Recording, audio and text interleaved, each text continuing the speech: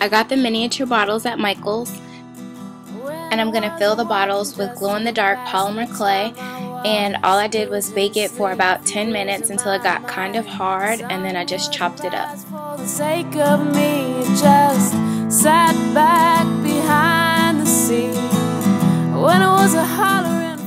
Now I'm going to add it to the bottle.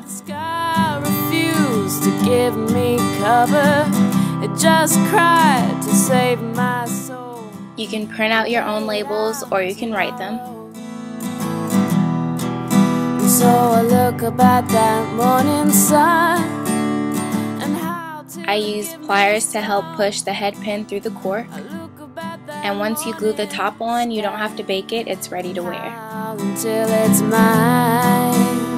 I look about that morning sun and how to